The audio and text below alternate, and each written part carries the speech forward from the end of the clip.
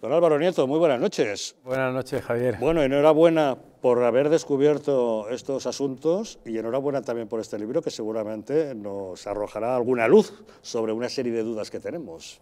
Bueno, no sé si podré responder a todas esas dudas, pero en cualquier caso creo que el libro había que escribirlo y, afortunadamente está recibiendo mucha aceptación, eh, se está vendiendo muy bien y eso yo creo que quiere decir que la gente está deseosa de saber más.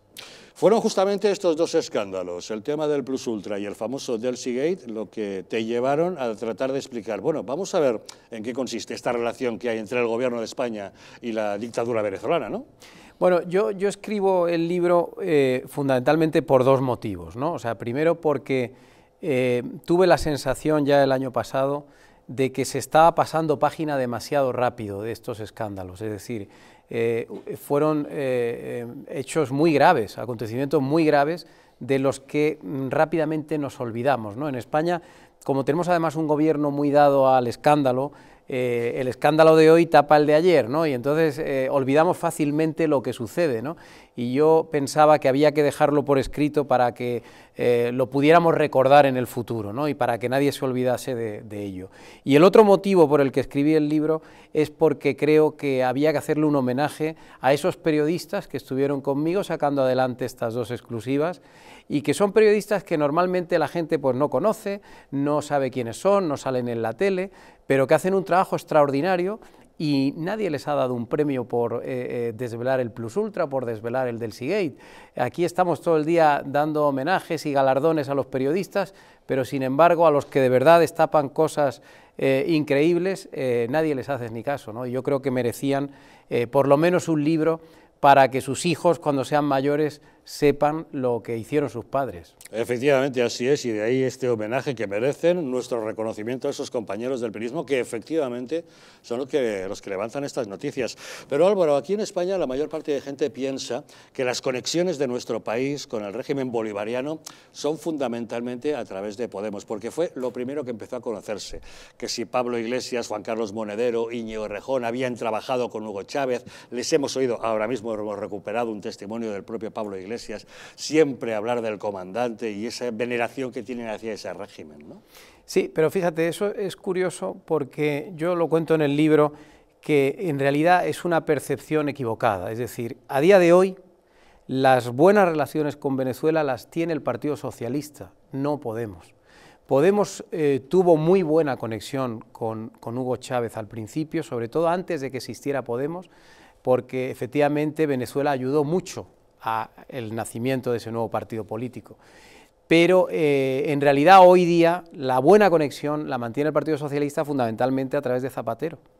Y el gobierno de Pedro Sánchez está muy vinculado y prueba de ello pues es el del Seagate, prueba de ello es el rescate de Plus Ultra. Es decir, eh, la relación con Podemos se ha ido perdiendo con el tiempo y, por ejemplo, hoy Podemos, con quien tiene muy buenas relaciones cada día mejores, es con el eh, presidente argentino. Eh, Fernández. Este sí que tiene grandes vínculos cada vez mayores con Podemos.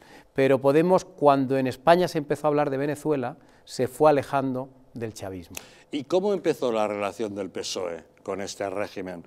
¿A raíz de que se lo acercara a Podemos o ya Zapatero, siendo presidente, había iniciado sus propios contactos? Mira, el comienzo eh, hay que establecerlo justo cuando llega Zapatero al gobierno.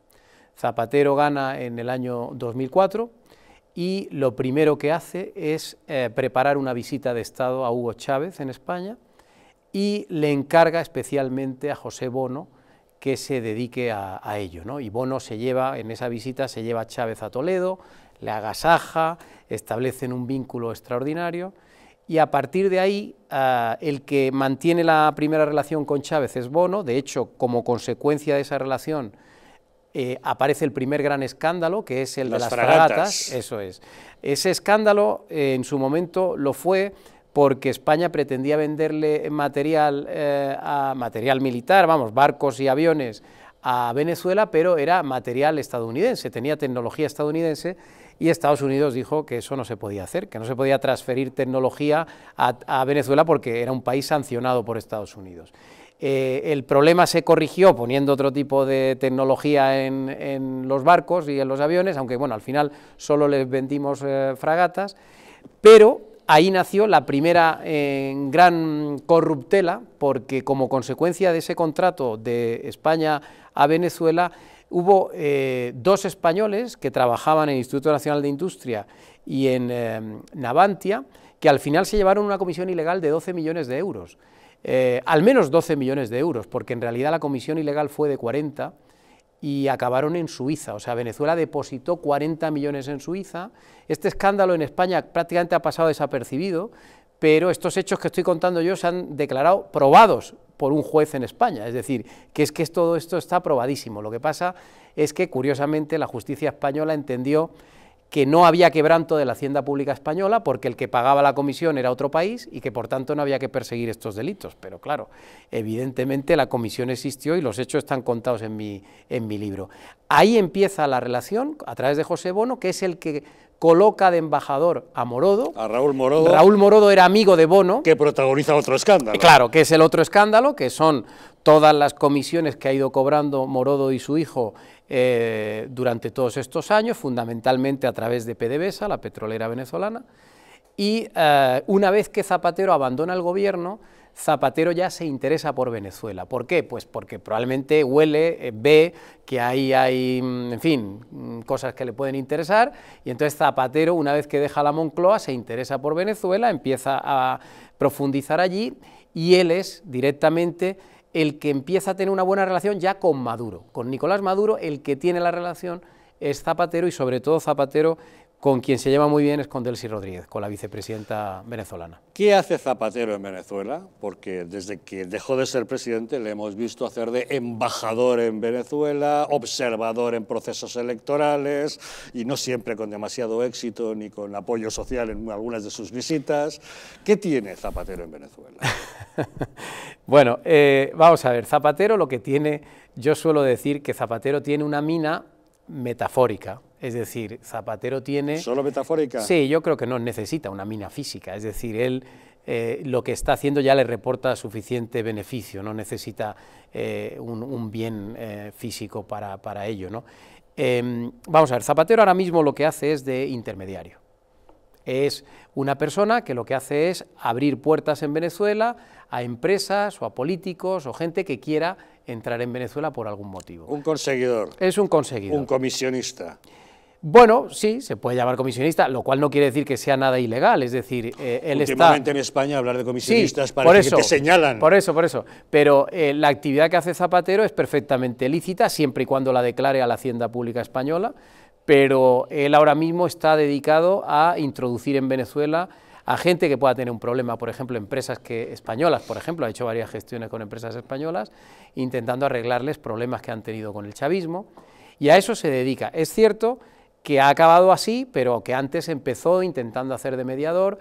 Lo que pasa es que, eh, bueno, esa mediación nunca resultó porque la oposición nunca le reconoció como alguien verdaderamente independiente y porque él poco a poco fue intimando tanto en el chavismo, con el chavismo, que al final eh, eh, se fue escorando hacia un lado y evidentemente acabó haciendo negocios en vez de hacer política o diplomacia. ¿no? ¿Y qué le va a Pedro Sánchez en toda esta movida? Porque hemos visto a Zapatero, que ahora tiene sus propios negocios, pero vemos que Pedro Sánchez también está perfectamente en línea en esta conexión ¿eh? Caracas-Moncloa. Pues esta es la gran incógnita, esta es la gran incógnita, es decir, ¿por qué el gobierno español es capaz de hacer lo que hace con Venezuela? ¿no? Porque es indudable que su relación con Venezuela le está perjudicando gravísimamente, por ejemplo, en sus relaciones con Estados Unidos. la gente eh, dice, bueno, pero ¿qué le pasa a Joe Biden que no habla con Sánchez? Pues es muy sencillo. Es que en Estados Unidos han visto que hay eh, varios comunistas en el gobierno, que el gobierno se entrevistó de madrugada con la vicepresidenta de un sátrapa, eh, que luego han rescatado una aerolínea con vinculación chavista con 53 millones de euros. Es decir, todo esto, visto desde Washington, es alarmante y evidentemente no se fían de Sánchez. Entonces, eh, algo gordo tiene que haber debajo, que yo lamentablemente todavía no he podido descubrir, para que Sánchez insista en la vía venezolana, eh, desatendiendo cualquier otra eh, vía, como por ejemplo la de Estados Unidos, que yo creo que para España sería mucho más beneficiosa. ¿no? Es decir, a España ahora mismo no le interesa o no le trae ningún beneficio tener una muy buena relación con Caracas y sin embargo la tenemos, la mantenemos. ¿no?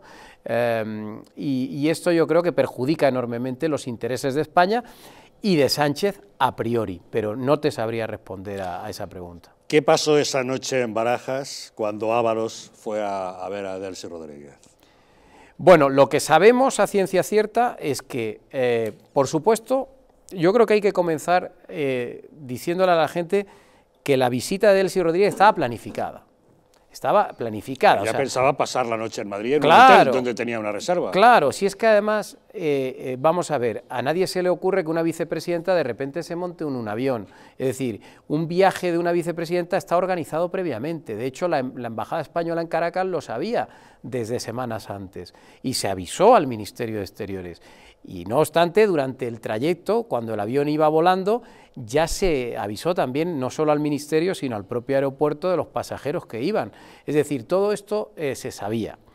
Eh, ¿Y por qué iba a venir a España? Pues probablemente porque Zapatero le convenció de que no iba a haber problema ya para entrar en nuestro territorio, eh, una vez que ya había habido el gobierno de coalición unas semanas antes, ¿no? que había sido ya la investidura del segundo gobierno de Sánchez.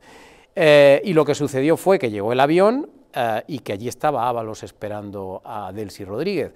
Se vieron en el avión primero, eh, ahí hubo un intercambio de información, yo hasta donde he podido saber, le muestra unos papeles Delcy Rodríguez Ábalos, no conozco el contenido de los papeles, no sé si algún día sabremos exactamente qué es lo que le enseñó, pero probablemente, o sea, yo solo puedo interpretar que pasaran dos cosas, o bien que era información sensible para el Partido Socialista o que era información sensible para Podemos. son las dos únicas opciones que yo veo aquí. Eh, en cualquier caso, Ábalos sí que intentó hacer gestiones para que ella no fuera deportada, porque la normativa europea lo que establece, lo que establece es que si alguien sancionado intenta entrar, lo que hay que hacer es mandarlo de inmediato a su, lugar de origen. de origen. Entonces Ábalos terció con la policía y con los guardias civiles que había allí para que no fuera trasladada a Caracas. Y que le dejaran continuar. Y que le dejaran continuar en un vuelo ya al día siguiente, que, en ese caso fue a Doha. Y eh, lo que sí sabemos también, porque lo contamos en su momento, es que descargaron del avión 40 maletas, eh, que se las llevó eh, la embajada venezolana sin ningún control, sin ninguna, en fin, sin ningún examen por parte de la policía. Que no sabemos qué contienen, sospechamos que dinero, ¿no? Yo es la teoría que... Porque lo del oro lo dijo Ana Oramas. Eso es. Bueno, veo que te has leído el libro perfectamente. Por supuesto. Javier, o sea, me estás sorprendiendo. De eso se trata. sí, sí, sí. Bueno, pero no todo el mundo se lo lee. No, no, efectivamente, efectivamente. La teoría del oro, del oro la, empezó a extender Ana Oramas en una entrevista en televisión, eh, porque es verdad que Estados Unidos tiene eh, acreditado que hay una ruta del oro que conecta Caracas con Turquía. Pero yo, después de investigar eh, a, fondo este asunto, eh, al final he llegado a la conclusión de que probablemente fuera dinero en efectivo, porque eh, Venezuela es una práctica que suele hacer, es decir, ellos se mueven por el mundo con maletas con dinero porque, como le pasa ahora a Putin, ellos tienen unas sanciones internacionales que les impiden hacer movimientos bancarios. Incluso de gasto ordinario en una embajada. eso es. Entonces, claro, para pagar el salario de sus funcionarios en embajadas, en consulados, para pagar el gasto corriente, necesitan dinero, y mucho dinero. Entonces, eh, puede que fuera dinero. Ahora bien, eso no garantiza que ese dinero se emplease en pagar el dinero de las embajadas, o a lo mejor en chantajear a alguien, en extorsionar a alguien, eh, en fin, en, intentar corromper a alguien, yo ahí ya no puedo llegar. Lo que sí sabemos seguro, porque eso sí que lo tuvimos muy atado en su momento, es que las maletas descendieron del avión, se fueron y no regresaron. Es decir, al día siguiente no volvieron a cargarse en el avión con destino Doha, ni volvieron al avión donde había venido ella con destino Turquía. En ninguno de esos dos aviones iban las 40 maletas. ¿El pollo Carvajal sabe algo o va de farol? Yo creo que el pollo Carvajal eh, en gran medida va de farol.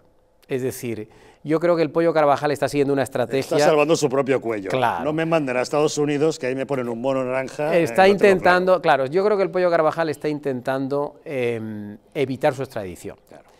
Eh, porque si no, hubiera puesto pruebas más contundentes encima de la mesa, porque ahora mismo lo que ha dicho el Pollo Carvajal aquí, ¿qué es? Bueno, lo de la mina de Zapatero, pero es que lo que ha contado el Pollo Carvajal de la mina de Zapatero lo sé yo desde hace dos años, porque en Venezuela es un rumor muy habitual en la calle, es decir, hace dos años ya se sabe que, que existe esa posibilidad de que Zapatero tenga una mina, no se ha podido demostrar nunca, y el Pollo Carvajal no dice, oye, esta es la mina de Zapatero, no, no nos da ningún dato añadido, se hace eco del rumor.